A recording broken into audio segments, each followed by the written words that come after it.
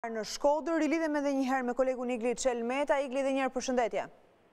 Përshëndetje, Ina, është përkeqësuar bilanci i të vrarëve në ngjarjen e rëndë në Shkodër, e cila ka ndodhur para pak minutash tek rrethrrotullimi i 5 heronjve në Dobraç, ku një automjet në lëvizje është afruar Një automjeti ku ka pasur katër persona brenda në automjet dhe ka qëlluar me breshëri plumbash kallashnikovi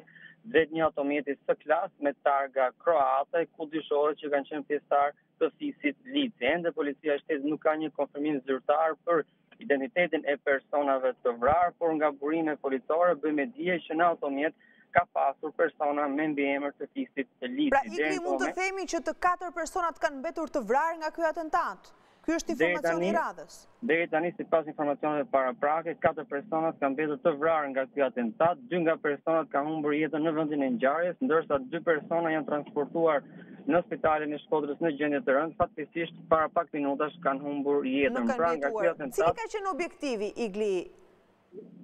Ende nuk dihet zyrtarisht cili ka qenë objektivi i atentatit, por sipas burimeve policore, dyshohet që brenda në automjetin C-Class me targa kroate kanë qenë pjesëtarë të fisit Lici dhe dyshohet se kanë qenë shënjestër e atentatit të ndodhur para pak minutash në Dobraç të Shkodrës. Por sipas informacioneve paraprake nga policia e shtetit dhe në bazë të sekuestrimit të kamerave të sigurisë nga grupi hetimor i cili ndodhet në vendin e ngjarjes, dyshohet se mund të ketë pasur dhe shkëmbim zjarri midis dy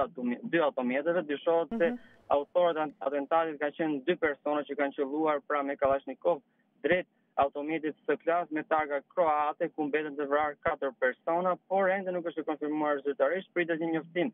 zyrtar nga policia e Shkodrës për të sqaruar rrethanat e kësaj ngjarje të rëndë, pasi ka ndodhur në një orar të frekuentuar pra tek rrethrrotullimi i pesë heronjve në Dobraç ka pasur dhe qytetarë të tjerë të cilët kanë qenë duke kaluar në këtë zonë në momentin që dy automjete pra kanë janë kanë shkëmbyer zjarr midis tyre dhe e, dy autorë pra dy persona nga një automjet tjetër kanë qëlluar me breshëri plumbash pra drejt automjetit C-Class ku dyshohet që kanë qenë katër persona të cilët fatkeqësisht kanë humbur jetën dhe sipas burimeve policore dyshohet që janë pjesëtarë të fisit Lici Lici, një person është identifikuar me mbiemrin Lici, por mm -hmm. ende policia e shtetit nuk ka dhënë një konfirmim zyrtar, por ka dhe uh, persona të tjerë të cilët kanë qenë në automjet, të cilët nuk kanë pasur mbiemrin Lici, që kanë mbetur të vrarë nga ky uh, atentat i rëndë në ngjarjen e ndodhur para pak minutash pra në Dobraç të Shkodrës. Igli, çfarë thotë për policinë e shtetit mbiemri Lici? Është një emër i njohur? Të shtetit është një emër i njohur, për përplasjet që fisi Lici ka në zonën e Shkodrës me grupe të tjera rivale në qytetin e Shkodrës dhe për këtë arsye njëtrajtshmëria e tyre dhe sipas informacioneve paraprake nga Policia e Shtetit, por dhe burimeve policore, dyshohet se kanë qenë ata shënjestra e këtij atentati të ndodhur para pak minutash pra mhm. në zonën e Dobraçit, një zonë e cila edhe policia e shtetit e ka të vështirë ta kontrollojë dhe njihet si një nga zonat më të nxehta të botës së krimit në qytetin e Shkodrës, po ashtu sipas informacioneve që kemi nga minuta minutë pas minute të fundit dyshohet që është plagosur edhe një kalimtare e rastit e cila ka qenë duke kaluar pra në zonën e rrethrrotullimit të pesë heronjve pra në Dobraç në momentin që ka ndodhur atentati dyshohet që plumbat kanë kapur edhe kalimtarë të rastit por ende nuk e kemi të konfirmuar zyrtarisht këtë informacion por Pra nuk e dimë nëse është jashtë rrezikut për jetën ose jo, për sa kohë nuk e kemi të konfirmuar saktësisht, nëse është plagosur ose jo kjo kalimtare. Nuk e kemi të konfirmuar saktësisht, por kemi të konfirmuar emrin e njërës nga viktimave, është Hamza Lici dhe personi tjetër Arlin Bushati, të cilit kujtoj faktin që dy javë më parë dyshohet se i është bërë atentat në Shkodër pasi ka bërë kallëzim ky i fundit në policinë e Shkodrës se i është bërë atentat nga dy persona me motor të cilët kanë qëlluar kur ky i fundit ka qenë në ambientet e një lokali, por pritet të konfirmohet zyrtarisht nëse është ky person i njëjtë i cili është ekzekutuar ditën e sotme te rrethrrotullimi i pesë heronjve në Dobraç, sa i përket kalimtarëve të rastit, të cilët kanë mbetur të plagosur, duhet të presim një informacion zyrtar nga policia e shtetit, pasi bëhet fjalë për një ngjarje tepër të rëndë, ku kemi të konfirmuar faktin që deri tashmë kemi katër viktima, një mhm. ngjarje që thash ka ndodhur në prezencë të shumë qytetarëve, ka ka pasur breshëri plumbash kallashnikovi pra nga dy autorë, kanë qenë dy persona që kanë qëlluar me breshëri plumbash drejt automjetit S klas me targa kroate, i cili më pas është përplasur me një barrierë muri pra në zonën e Dobraçit te rrethrrotullimi i pesë heronjve në momentin që është qëlluar pra në drejtim të këtij automjeti dhe Dyshohet, sipas dëshmive të dëshmitarëve okularë që kanë dhënë paraprakisht në Policinë e Shtetit, dyshohet që mund të ketë pasur dhe shkëmbim zjarri, pra personat të cilët i është bërë atentat e kanë kuptuar që po i qëllojnë me armë zjarri drejt tyre dhe mund të kenë reaguar duke pasur këtu në këtë lloj mënyre edhe shkëmbim zjarri. Okej, okay, Igli, faleminderit shumë, po gjithsesi do të duhet Edhe të rikonfirmosh edhe njëherë gjëndjen, ndoshta edhe edhe të kalimtarit, ose nëse është plagosur ose jo, sepse ka informacione që mund të kemi edhe një tjetër person të mbetur të vrarë nga gjithë kjo ngjarje, po?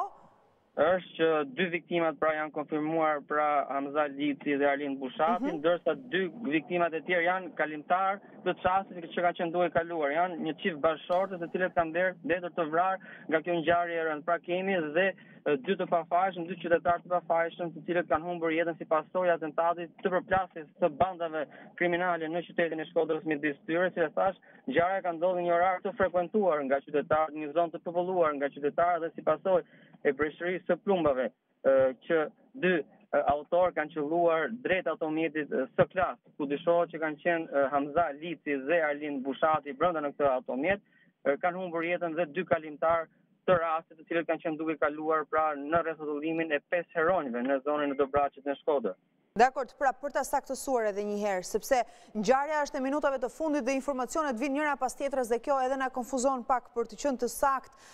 edhe për t'i thënë në kohë reale të gjitha informacionet e minutave të fundit. Dy personat e parë, të cilët kanë ndruar jetë, kanë qenë brenda automjetit, të cilët janë po. qëlluar nga një tjetër automjet po ashtu në lëvizje, Dhe dy viktimat e tjerë, të cilët kanë ndruar jetë në spital, kanë qenë kalimtarë të rastit, pra një çift bashkëshortësh. Ky është informacioni i saktë.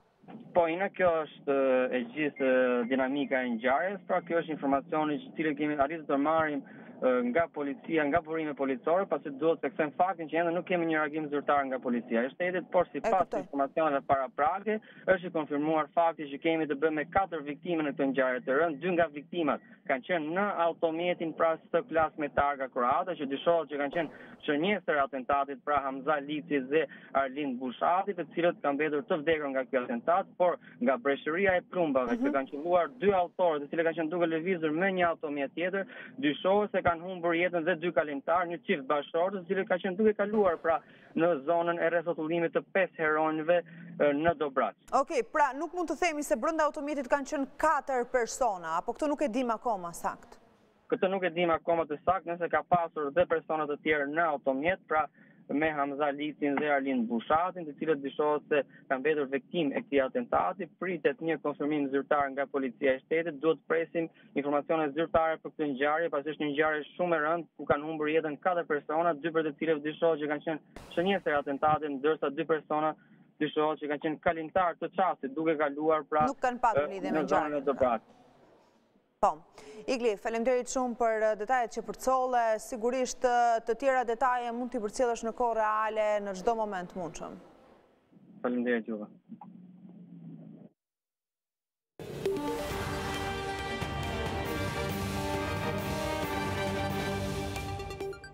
Ndërrojmë tani temën e informacioneve, 13 milion euro nga buxheti i vitit 2025, qeveria ka vendosur t'ia japë inceneratorit të Tiranës. Ky denoncim vjen nga Klevis